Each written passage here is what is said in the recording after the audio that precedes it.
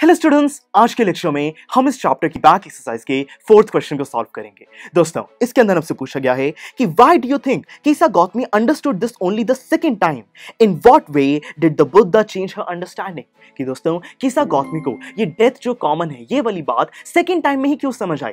दोस्तों, ऐसा इसीलिए है क्योंकि फ़र्स्ट टाइम में तो कीसा गौतमी डेथ पर फोकस नहीं कर रही थी। वो ये एक्सेप्ट ही नहीं कर रही थी कि उसके सन की डेथ हो गई है। वो तो सिर्फ़ लोगों से मेडिसिन मांग रही थी कि वो किसी तरीके से अपने बच्चे बच्चे को ठीक कर सके।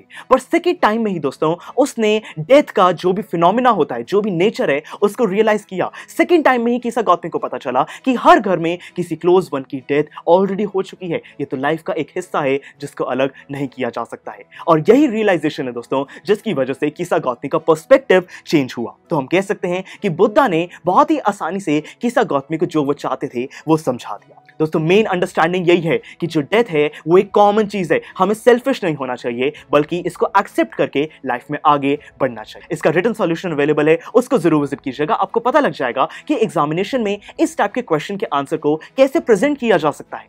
तो चलिए, मिलते हैं अगले लेक्चर में, जिसके अंदर इतनी आसानी से इसी चैप्टर की बैक एक्सरसाइज के फिफ्थ यानी कि लास्ट क्वेश्चन को हम सॉल्व करने वाले हैं। See you in the next lecture students I am sure आपको ये वीडियो बहुत पसंद आया होगा।